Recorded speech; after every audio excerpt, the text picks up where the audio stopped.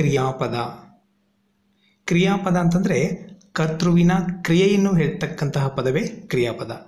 ಇದು ಕರ್ತೃ ಮಾಡ್ತಕ್ಕಂತಹ ಕೆಲಸವನ್ನು ತಿಳಿಸುವುದರಲ್ಲಿ ಪ್ರಧಾನ ಪಾತ್ರವನ್ನು ವಹಿಸುತ್ತೆ. ಕ್ರಿಯೆ ಅಂತಂದರೆ ಬೇರೆ ಏನೂ ಅಲ್ಲ, ಕೆಲಸವನ್ನು ಸೂಚಿಸುವ ಪದ. ಉದಾಹರಣೆಗೆ ಈ ವಾಕ್ಯವನ್ನು ನೋಡಿ, ರಾಮನು ನದಿಯಲ್ಲಿ ಈಜಿದನು. ಇಲ್ಲಿ ಈಜು ಅಂತಕ್ಕಂತಹ ಪದ ಕ್ರಿಯೆಯನ್ನು ಸೂಚಿಸುತ್ತೆ.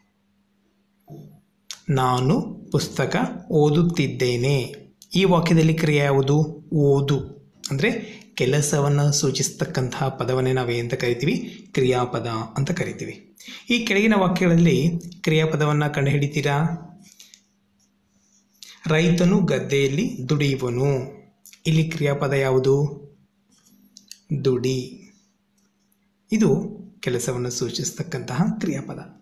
ಎರಡನೇದು, ರೈತನು ಭತ್ತವನ್ನು ಚೀಲದಲ್ಲಿ ತುಂಬುವನು. ಇಲ್ಲಿ ತುಂಬು ಅಂತಕ್ಕಂತಹ ಪದ, ಕ್ರಿಯಾಪದ. ಇನ್ನು ಮೂರನೇದು ನೋಡಿ, ಎತ್ತುಗಳು ಗದ್ದೆಯಲ್ಲಿ ನೇಗಿಲನ್ನು ಎಳೆಯುವವು. ಎಳೆ ಅಂತಕ್ಕಂತಹ ಪದ, ಕ್ರಿಯಾಪದ. ಈ ರೀತಿ ಕೆಲಸವನ್ನು ಸೂಚಿಸ್ತಕ್ಕಂತಹ ಪದಗಳನ್ನು ಕ್ರಿಯಾಪದ ಅಂತೇಳಿ ಕರಿತೇವೆ. ಕ್ರಿಯಾಪದದ ಬಗ್ಗೆ ತಿಳ್ಕೊಂಡ್ವಿ. ಈಗ ಕ್ರಿಯಾಪದದ ಮೂಲ ರೂಪ. ಕ್ರಿಯಾ ಪ್ರಕೃತಿ ಅಥವಾ ಧಾತುವಿನ ಬಗ್ಗೆ ತಿಳ್ಕೊಳ್ಳೋಣ. ಕ್ರಿಯಾ ಪ್ರಕೃತಿ ಅಥವಾ ಧಾತು ಅಂತಂದರೆ ಕ್ರಿಯಾಪದದ ಮೂಲ ರೂಪ. ಇಲ್ಲಿ ಉದಾಹರಣೆಗಳನ್ನು ಗಮನಿಸಿ. ತಿನ್ನುತ್ತಾನೆ, ತಿನ್ನುತ್ತಾಳೆ, ತಿನ್ನುತ್ತದೆ, ತಿನ್ನುವರು, ತಿನ್ನಲಿ, ತಿಂದರು, ತಿಂದಿತು. ಈ ಮುಂತಾದ ಎಲ್ಲ ಕ್ರಿಯಾಪದಗಳು ಯಾವುದರಿಂದ ಬಂದಿವೆ? ತಿನ್ನು ಅಂತಕ್ಕಂತಹ ಧಾತುವಿನಿಂದ ಬಂದಿವೆ. ಈ ಕ್ರಿಯಾಪದದ ಮೂಲ ರೂಪವಾಗಿರ್ತಕ್ಕಂತಹ ತಿನ್ನು ಇದೆಯಲ್ಲ ಇದನ್ನೇ ಮೂಲ ರೂಪ ಅಂತ ಕರೀತಾರೆ. ಇದನ್ನೇ ಕ್ರಿಯಾ ಪ್ರಕೃತಿ ಅಥವಾ ಧಾತು ಅಂತ ಕರೀತಾರೆ. ಅಂದರೆ ಯಾವ ಪದದಿಂದ ಈ ಎಲ್ಲ ಪದಗಳು ಬಂದಿವೆಯೋ ಅದು ಮೂಲ ರೂಪ. ನಾವು ಈ ಭೂತಕಾಲ, ವರ್ತಮಾನ ಕಾಲ, ಭವಿಷ್ಯತ್ ಕಾಲಗಳಲ್ಲಿ ಈ ಒಂದು ಧಾತುವನ್ನು ತಗೊಂಡು ಯಾವ ಥರ ರೂಪವನ್ನು ಪಡ್ಕೊಳ್ಳುತ್ತೆ ಅನ್ನೋದನ್ನು ನೋಡೋಣ. ಈ ಪಟ್ಟಿಕೆಯನ್ನು ಗಮನಿಸಿ. ಇದನ್ನು ನಾವು ಸರಿಯಾಗಿ ತಿಳ್ಕೊಂಡ್ರೆ ನಾವು ಕ್ರಿಯಾಪದವನ್ನು ಸರಿಯಾದ ರೀತಿಯಲ್ಲಿ ತಪ್ಪಿಲ್ಲದಂತೆ ಪ್ರಯೋಗ ಮಾಡಲಿಕ್ಕೆ ಬರುತ್ತೆ. ಇಲ್ಲಿ ನಾವು ತೆಗೆದುಕೊಂಡಿರ್ತಕ್ಕಂತಹ ಧಾತು ಯಾವುದಂತಂದರೆ ತಿನ್ನು. ಈ ತಿನ್ನು ಧಾತನ್ನು ತಗೊಂಡು ವರ್ತಮಾನ, ಭೂತ, ಭವಿಷ್ಯತ್ ಕಾಲಗಳಲ್ಲಿ ಏಕವಚನ, ಬಹುವಚನಗಳ ರೂಪದಲ್ಲಿ ಯಾವ ಥರ ಬದಲಾಗುತ್ತೆ ಅನ್ನೋದನ್ನು ನೋಡೋಣ.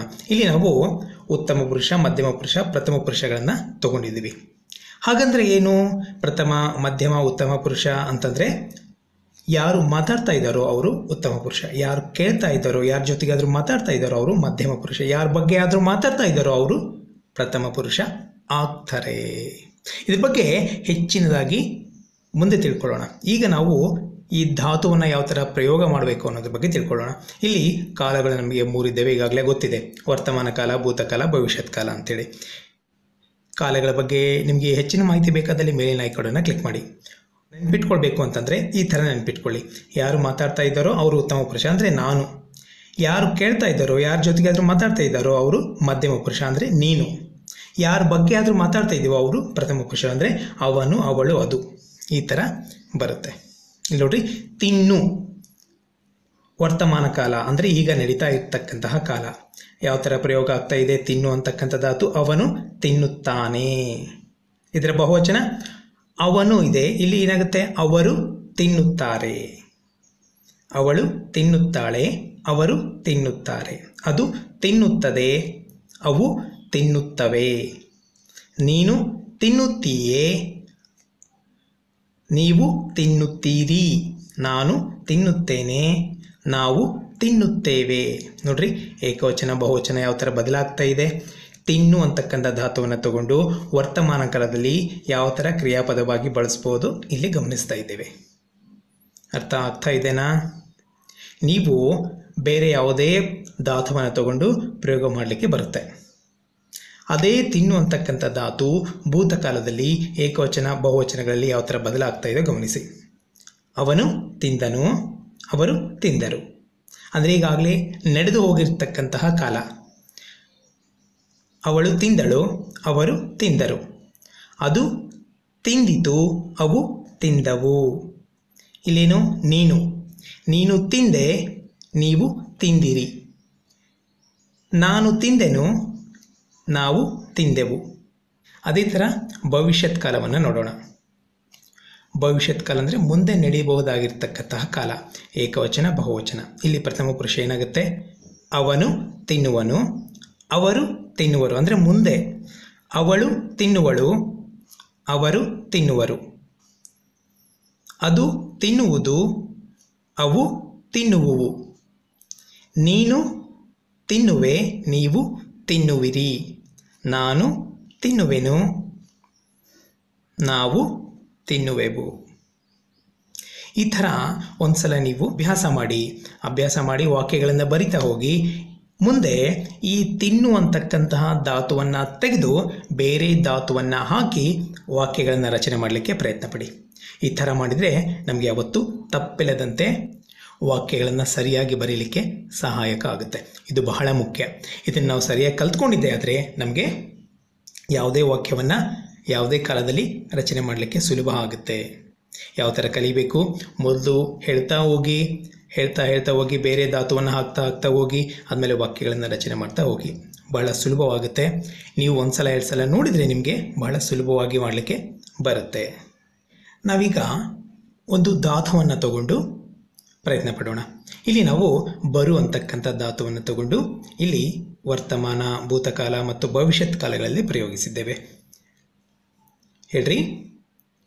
ಅವನು ಬರುತ್ತಾನೆ. ಅವರು ಬರುತ್ತಾರೆ. ಅವಳು ಬರುತ್ತಾಳೆ. ಅವರು ಬರುತ್ತಾರೆ. ಅದು ಬರುತ್ತದೆ, ಅವು ಬರುತ್ತವೆ. ನೀನು ಬರುತ್ತೀಯೇ, ನೀವು ಬರುತ್ತೀರಿ. ನಾನು ಬರುತ್ತೇನೆ, ನಾವು ಬರುತ್ತೇವೆ. ಅಂದರೆ ಈಗ ನಡೀತಾ ಇರ್ತಕ್ಕಂತಹ ಕಾಲದಲ್ಲಿ ಬರು ಧಾತುವಿನ ಪ್ರಯೋಗ.